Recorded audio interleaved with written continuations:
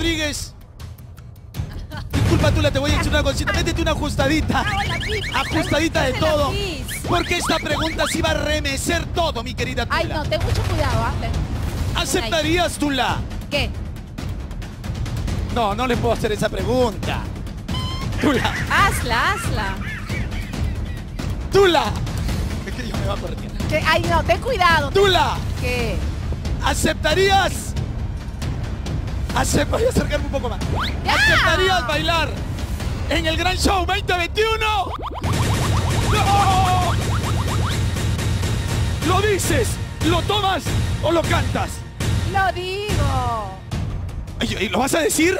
Claro. ¿Aceptarías bailar en el Gran Show 2021? No he aceptado antes, no lo voy a aceptar ahora. ¡No! ¡No! Ah, yo quería verte ahí.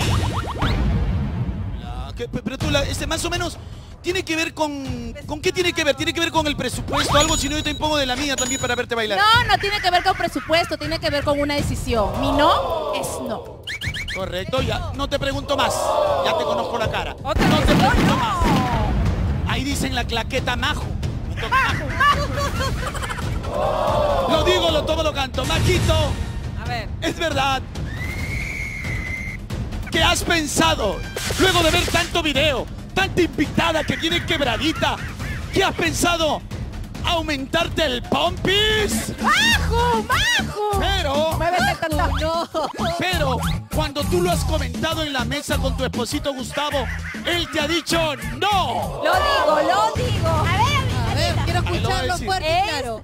mentira. No pensado, no he pensado aumentarme para nada. Yo soy así delgada, siempre he sido delgada. Y hago mi deporte, haré sentadillas, 100 sentadillas o 100 escaleras, creo. Y no tiene que ver con mi esposo porque yo también to- tomo mis propias decisiones. Además, amiga, no te preocupes, tú eres muy potona.